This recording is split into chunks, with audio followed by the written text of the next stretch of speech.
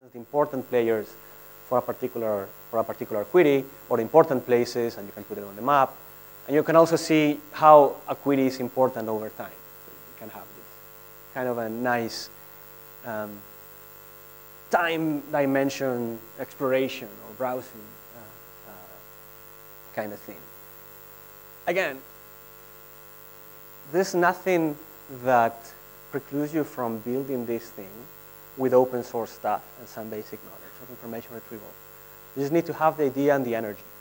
You just need to you know, study this thing for a while. And the tools are there. That's the great part. I mean, they weren't there when I started, but now there's a huge open source community around this. Uh, so, you know, wanting, wanting is, is power. You just need to, to have the desire to, to do something cooler than this, hopefully. All right. So why is this hard? Well, I mean, the problem is super easy to understand, right? So you really need to just find out what a user needs, uh, and you need to do it quickly, right? We said no three hours waiting. But there's a lot of challenges here. So for instance, user intention. So how do you determine what is on the user's brain by two keywords, or one keyword, or three keywords? So it's very tough. Think about how you use a search engine, right? You say food Bangalore or, you know, pizza restaurant. But when you ask a friend, do you know if there's any nice Italian restaurant uh, around here that could serve pizza and is reasonably priced? You don't go and say pizza restaurant. But we say that to the search engines, right? don't we? Um, I have an explanation for that, because we're taught to do that, because long queries, they, they tend to underperform. Um, but it's suboptimal. It's not the way we communicate. So why is the way we tell the machine? Why has the machine has to be smarter than, than, than a human? You know, accessibility, uh, volatility, redundancy. So you know, in the web, the web is a mess. we'll see that later. But there's a lot of duplicates here and there. Uh, there's a lot of low quality documents. There's a lot of opinions. There's a lot of bias. There's uh, different kinds of formats. There's things that come and go. There's web pages that they just create and they disappear. Links uh, appear and disappear. How do you deal with all that? And then on top of that, there's a lot of these resources and they're growing. So your algorithms need to keep up with that. So that's one of the biggest scales. So all this is very difficult. Now you put the, the volume dimension there and it's very tough and scale. So what you mean by scale is that you want an algorithm that, I mean, saying it plainly, if you put more machines, then you can handle more resources, right? This is what scaling is. And still, you know, what I said, you know, this scale, whatever, uh, this is from Prabhakar Raghavan. He used to say that the main bottleneck is still human cognition. It's not computational. It's understanding how we think. This is why semantic search might be interesting because it might bring us one little step closer to being able to figure out why, uh, what, what we're thinking. Right? We're looking for something. anyway, so information retrieval is mostly about relevance. So, you know, we saw the definition and you all understood what it was relevant in that context, but I'm telling you, trying to put an equation into what relevance is is not very easy. So relevance is, is the core concept in IR. Right? But I don't think anybody has come up with a good definition for that. So it can be something that is useful. It can be something that is topically coherent with what we want to, what you're looking for. Something that is new. Some you know, new search, for instance. It has to be new. If it is topically coherent, but it's something that happened 20 years ago, then it's not relevant. Maybe it has to be interesting. Or maybe not. Maybe it, can, maybe it has to be boring. But still, you know, we really want relevant information. So this is one of the biggest discussion in IR really what is relevant, what are all these dimensions of relevance, and how do, do we put a number in these dimensions. Um, and this it has a lot to do with uh, the way we use the search engines. It also has a lot to do with evaluation, right? Because relevance is the way we say this search engine is better than this one, or this technique is better than this one. Uh, and you'll have three hours in that, so I can happily skip. And then, you know, information is might be expressed as a query, but users I say don't often know what they want. I say most of the time you don't know what you want. Uh, and this comes from somebody who has looked at the um, at this problem for a while. So there are a lot of problems. We'll see examples of this. So one is that you have to verbalize your information. Right? You need to come up with a mental representation of what you want, and that's not easy.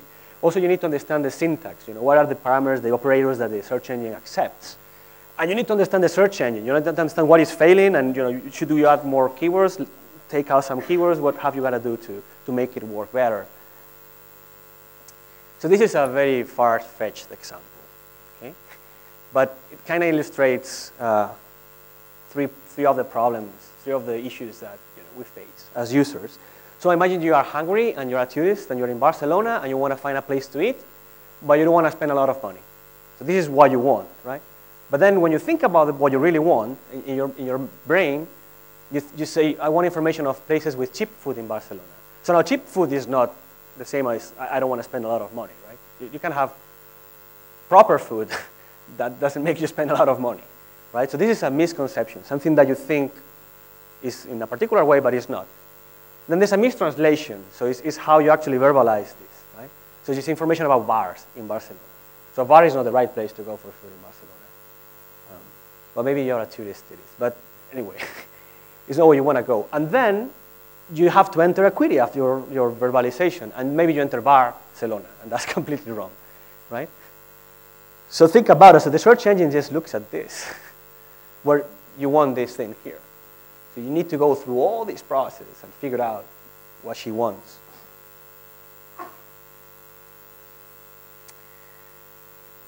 Anyway, so it's hard because we need representation. We need to put all these documents, all these pieces of information in a machine uh, readable format. So, you know, semantics, what do words mean? Right? This semantic search tries to add one layer of knowledge on, on top of just plain strings, plain keywords natural language. So how do we say things? What is the structure of the grammar that we use? And of course, this changes from language to language. So it adds more complications to, to the problem.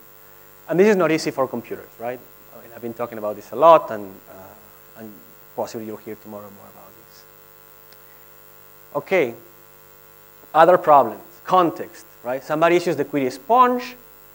What do you want? Know, this or SpongeBob? So maybe a kid wants SpongeBob. So you need to know where the user comes from, which you don't know most of the times. Then opinion, right? So people issue these queries all the time, right? So funny.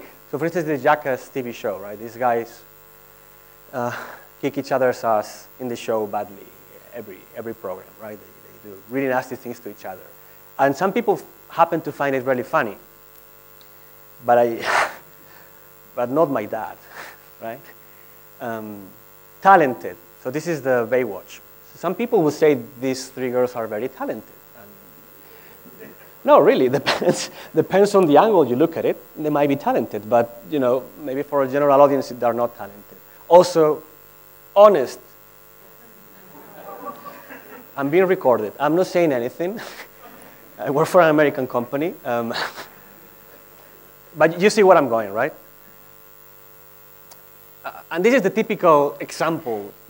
Those were sort of funkier, but it's the typical example you get when somebody tries to explain to you why searching for information is very hard, and it's you know, the semantics. So bank, so somebody enters the query bank, what do you want? Banknote, a river bank, a actual financial, financial institution, or a blood bank. Right, so it can mean many, many things. So ambiguity is a big issue. Uh, and this is what semantics bring into the picture. They, they try to chop, chop down the fat into ambiguity and, and try to extract the right amount of, of, of semantics the right amount of knowledge. So quickly, what, what, is about, what is like to be a search engine? These are real, real queries that, that we get. So you know, queries can be ambiguous, like Jaguar. So which Jaguar are you looking for? Are real queries. Or they can be under-specified. So Iraq. So somebody inputs this query. This is not ambiguous. You know what Iraq uh, she's trying to find. But what do you want to do with that? Do you want news about Iraq? You're looking for a visa to get in Iraq? What do you want to do? Uh, latest release, ThinkPad drivers, touchpad. So here the difficult part is latest release. Uh, what is the last one? Right? How do you identify that some item is newer than another item? Uh, eBay, I guess. You want to go to this site, so that just you want to get there, or you want information about it, or, or, or what do you want? First, this is an actual query, so you know, can you imagine being the search engine? So what, what you do, do you reply to this? So your best friend comes next to you and says, first. First what? Uh, Google or you know typos like Britney Spears. Again, real queries. So you have to, to deal with all these, right? So it's a big engineering challenge as well, just to cope with all these kind of errors. So search is a multi-step process. You know, from a cognitive perspective, what you do, you verbalize your query, you look for a document, you try to find your information in the document, and if you're not happy, you go back, you refine, you add queries, uh, keywords, remove keywords, uh, click somewhere else. And you do that until you find what you're looking for, you get bored and move on to some other search engine or, or to do something else. Now, you might also go to a particular site. You know, we've seen a lot of examples of that. That's, I guess, called teleporting. So but this needs some, you know, kind of advanced uh, knowledge of what's going on. So you need to know what sites are available, what are the data that these sites have, um, how it's represented, and for what queries these sites are better than general web search, right? And that might be because you know, just coming up with a query might be very, very hard, or because you trust more the final site than, than, than the actual uh, search engine. All right, so I have a few examples. I'm going to be late, but doesn't really matter. Anyway, so Dan Russell was um, like a search experience uh, uh, vice president of Google or something like that. He has some amazing slides online, like completely different from anything you would expect from an information retrieval presentation. So it's like trying to make you think about the process itself. Um, so this is one of the examples he has. You know, so somebody told me that in the mid uh, 800s, people usually will carry around a special kind of notebook. They will use the notebook to write down quotations that they heard or copy passages from books. That The notebook was an important part of their education and has a particular name. So what was the name of the notebook? So this is interesting because you are entering into somebody else's information need space. So you're trying to get into somebody else's brain and trying to understand what this person was looking for and how would you formulate this query. So I won't tell you the answer unless I click on next, it shows up there, here, but but you should think about this offline, right? You could just figure out how, how would you look for this particular item and, and what happens. Another good one, right? This little indentation here, what's the name of that? It has a name. It has a Wikipedia page. So how do you look for that? I mean, think about what would be the query that you input into the search engine to find that. So uh, think something like upper indentation lip uh, works, right? But, but you, get, you get the idea, right? You have this, you, you completely understand what you're looking for, but how do you verbalize it? Right? It's called philtrum or something like that. Anyway, there are more tasks, right, out there. So some, some of your user needs might be better served with an image or with a video uh, or with a map. I mean, you, go, you want to go from here to here, you really want a map. You don't want a, a web document or other resources. Uh, something that helps when you're trying to find out something that you cannot find uh, and you cannot find it is to think of synonyms. So for instance, this query was around. It was, uh, a friend told me that there is an abandoned city in the waters of San Francisco Bay. Is that true? And if it is true, what was the name of the supposed city? So it's true. And if you look for abandoned city, San Francisco, there's a lot of, or there used to be a lot of junk, right? Maybe a lot of people trying to figure this out now uh, use the search engine and, and now uh, the good result went higher. But what you need to look is for ghost, ghost town, San Francisco, and that's going to work. So, you know, think of alternate formulations for what you're trying to look for. Uh, some other user needs require explore a topic in depth. You're doing some research on something, you want to know about this particular event, this, this you, know, you know, about the history of India. Right? So I was reading the Wikipedia page. You want to explore that in depth, and you want to know who were the important people, where were the important events, and you want to spend time on that. You want to use a search engine and assist, uh, the search engine to assist you uh, into, into finishing that task.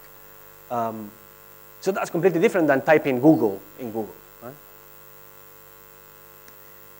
Um, there's also something useful is to refine your question. So imagine that you want to buy a unicycle uh, for your mom or dad. How will you find it? So you start with very general words and you start narrowing down your search, adding more keywords there that will actually lead you to a proper unicycle for, for your parents.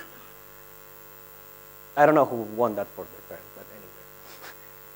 but anyway. uh, and also this, and I think you'll hear about this later on as well, you might be looking for lists of information. You might be looking for a list of all the groups that inhabited California at the time of the missions. So how smart will a search engine be if it can just display the list of groups right away out of this question? I mean, parsing the question is sort of hard for a human. But, um, so this is what it's all about. So refinding, uh, exhaustive search, exploratory seeking, known item finding. So th these are all different IR tasks, different kind of things that you want to do with, a, with an IR system. So known item finding means you want to retrieve some data you know it's six. For instance, what, what, what was the year uh, which Peter Mika was born? Uh, you know, that exists, you want to find it. Exploratory, so you want to find some information through an iterative process, like the unicycle thing. Uh, and there's no single, single answer for your query. There might be many, many different answers. What we're trying to do. Uh, exhaustive search, you want to find all the information possible about a particular issue. And this is very valuable for some companies that is using, like, think of market analysis, right, or social media analysis. You want to find everything that people are talking about a particular issue in the world. Um, and you need a lot of queries to cover that information. And maybe you cannot cover depending on what is the issue. And refining. I mean, you've been into this site before and you want to find it again. And that happens more often than, than what you would think. Anyway, so scale, so there's a lot of information. Is 300 terabytes of print data produced per year. So if you have videos, images, digital information, probably 600 petabytes per day per, per year. Uh, you have to be fast, you have to be scalable, information is dynamic, and you have to cope with data, and the user changing her mind, which happens a lot. It's looking for something and it just wants moves on to something else, and, and then comes back. So uh, these things introduce, as I say, tensions in every step and every box of the search engine uh, uh, design. Last, oh, I'm taking so long anyway. If you want to publish anything in information retrieval conferences, not sure if you want, not sure you, you should. Um, so it's, a, it's, you know, the methodology there is, is very strong. So you want to get a paper in, you know, methodology plays a crucial role. You won't get a paper without experimentation done in the proper way. Uh, there are essentially three types of IR papers uh, or IR research. So one is systems, so it's trying to make things faster, trying to make things more scalable. Another one is on methods, so effect effectiveness, right? So how do we uh, retrieve information in a, in, uh, in, a, in a better way? Another one is applications, so it's how do we make uh, users' life easier when they're using our particular uh, system? And then empirical evaluation plays a critical role across all these lines of research, and you need to be very aware of that. It's a very highly applied scientific discipline. It has to be experimentation, and it's a you know, experimentation is a critical component of the scientific method itself. So, you, know, you want to be sure that what you're finding out is for real, then, uh, then, then, you need to run experiments and statistical uh, uh, validation. And then poor experimental methodologies are not scientifically sound and should be avoided. Right. So don't get in there. All right, so I think we're going to have a, a quick break now um, for, for this first half, and then we'll go deeper. Have any quick questions? I've, I've taken a lot of time. Is anybody awake? I can't see you. Is anybody here?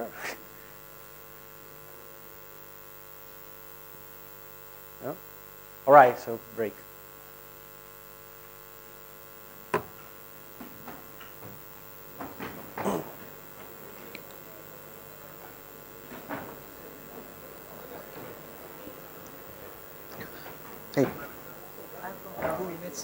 Okay. So uh, we have this particular problem. Oh. Turn it off, right? Okay. We have this particular problem. Only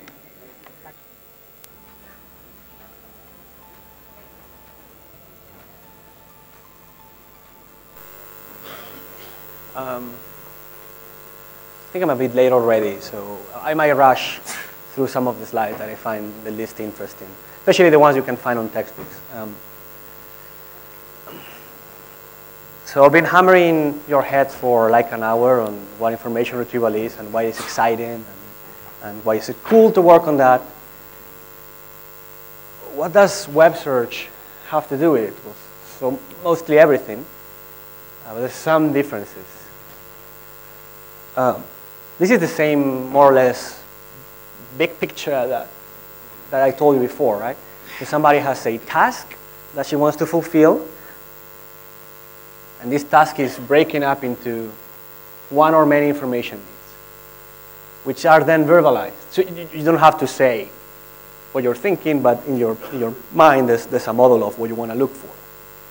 And that is translated into a query, which uh, unfortunately is a few keywords at the moment. Um, and that and a huge corpus of documents, a collection, is the input for a search engine. So the search engine is going to return results for your query, and then you might want to refine the query and go back to the search engine for more results and, and be in this loop forever. Uh, this might sound pretty basic, but this is from a paper from 2001, so it's not super old. Right? Might think that it has 100 years old, but it doesn't. Um, so what are the steps, the, the steps that you, you have to make uh, to get there? Um, the arrows, maybe, I think the arrows follow the flow more than the dependency, so you don't, don't get fooled by, by that. So everything again starts with document collection, which you process. You do a lot of stuff, uh, which is which is very uh, engineer intensive and, and, very hacky, right? But in the end, you come up with an index. We'll see how this goes, and some metadata about your collection, right? So here, in this huge box is a lot of work: scrolling, text processing, indexing, Voodoo, anything. So then out of this, you have a document interpretation. You have a view of your document, you know, how the machine understands what a document is like. Um, and then from the user interface, you, know, the, you interpret, you, you try to guess what the user is looking for, and you kind of make a query interpretation that has to be able, you need to match these two, right? So they have to be comparable. They have to be in the same space or hypothesis space. Uh, and there's some uh, balloon here that does matching and ranking. So matching essentially decides that this document is a good candidate for, for what you're looking for. And ranking says, well, this is one good or two good or three good or a 100,000 good. Okay. On this big box, so what you do is you have a crawler. So it's a process that goes out on the web and fetches pages continuously. Um, these pages are these documents here which go through an, a natural language processing pipeline, which can be uh, you know, more or less uh, involved. Um, to the very basic, you need to be able to chop down these documents into individual pieces that will act as, as your indexing units. So these are tokens. So think of the words of the document. So how you're going to be able to decide that a query uh, and a document match together, right? So it's with these tokens here, which are fed into the indexer, um, the indexer is sort of interesting. I'm not going to be talking a lot about index construction or at all.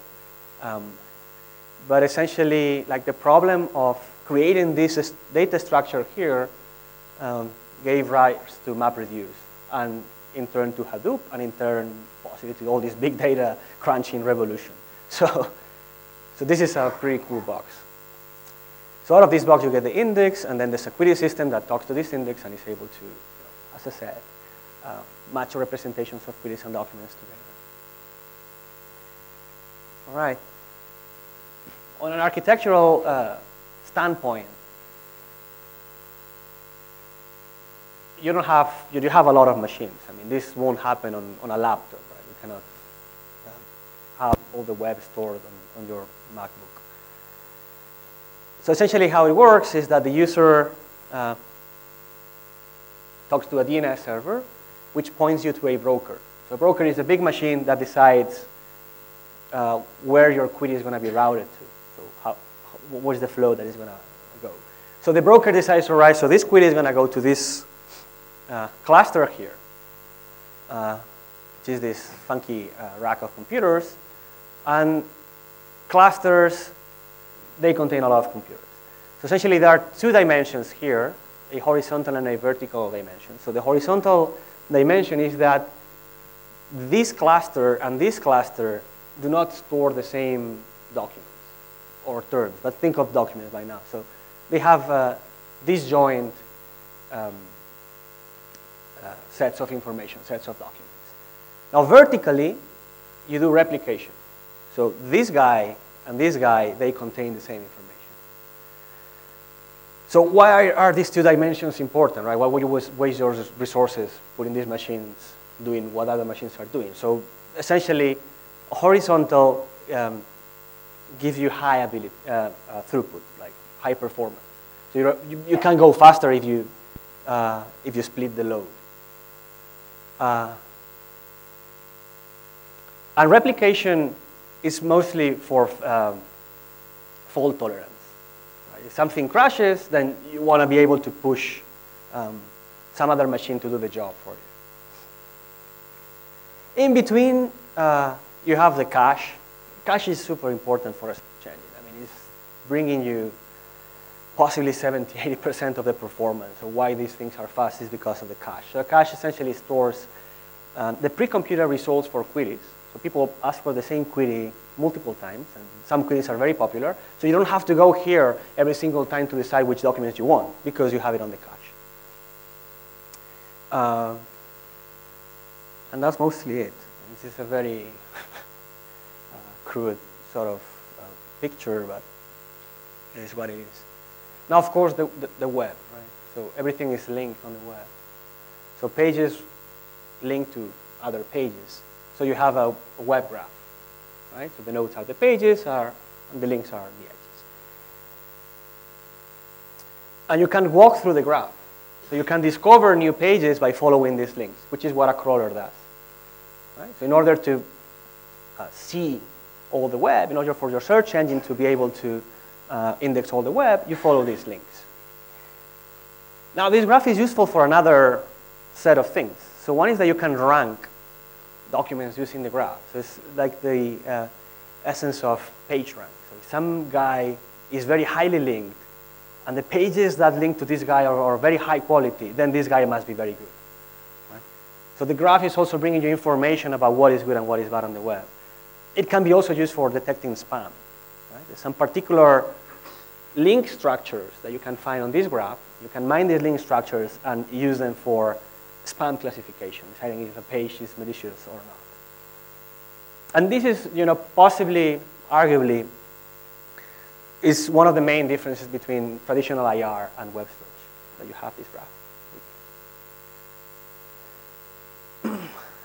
so anyone knows what this is? I can't see. Are you all sleepy already? Think one of my, my objectives is to make half of you uh, awaken by the end of the talk without the techno music. Anyway, so this is the web. As discovered by uh, Andrei Broder and colleagues, a very old uh, snapshot of the web, that only contain links to the central core, but there's no links back. Right? So you cannot go from here to here. So essentially, these are like new pages. You create your new site, and you link to Google, and you're going to be here in this in, uh, set. And then out is the opposite. So these guys here link to the pages in out, but they don't link to anywhere. So essentially, these are pages that only have intra-host links. Right? Very selfish pages that never link anywhere else. And this, these tendrils uh, are things that link to something that is not in the central core, and there's some pages that kind of bypass the central core, which are called tubes. And there's also some disconnected components. There's 17 million pages. Uh, and then, so when I was um, just reading this, this figure, I, I thought, well, they're going to ask me one question about this. Right? How do you discover these guys? If they're never linked or nobody links to them. How do you get there? So I think the answer is that this was done on the Alta Vista crawl, back when Andrei was still in Alta Vista and people could enter their own sites into the, into the search engine. Say, oh, my site is this one, please crawl me, right? But nobody was linking to them and they weren't linking to anybody. Um, and there were a lot of those. Or maybe there were pages that were abandoned uh, and the links were removed and they were still there. And you know about them because you have them on a previous, previous crawl list. Um, so it looks a bit like a, like a monster, right? The, picture, but uh, it's actually a snapshot of the web. And uh, this was very surprising when it came out. I mean, people were making kind of crazy hypotheses about the, how the graph of the web would look like. And uh, this was very surprising for, for a lot of people. Another surprising fact that also Andrei came up with is that search queries are actually very short, right? Two or three keywords, so it's like 2.5 in average. Uh, depends on, on the country. Um, because before that, before the 2000, and again, information retrieval has a long history, people thought that queries were really large, and you have these huge descriptions of information needs. Uh, and this is what people were researching with at the time, which is, has nothing to do from a technical standpoint with short queries. All right. So web search, you know, the, the, basic search technology is the same as the basic IR technology. How you represent things, how you index things, how you rank stuff. Uh, but then the scale changes the game completely. You have to start making a lot of architectural decisions, how, uh, how you engineer your different components in order to be able to cope up with all that stuff. Again, you cannot wait for three hours for, for an answer. Then the link structure, you know, I've said enough about this You can acquire data, you can rank using the, the link structure. Uh, and also something that is pretty cool is the, whoa, I'm talking to the microphone, uh, to extend the document representation. So essentially in the anchor text, you can add words. You're linking to this page, but you, you put a sentence or, or, or words or whatever while you're linking to this page. And essentially in the representation of the page you're pointing at, you can add these words. And this is very valuable because maybe you didn't think that these words will represent your page. You will never get a match from a query if it wasn't from this anchor page. Right? So this is a, a very important component uh, to increase retrieval in,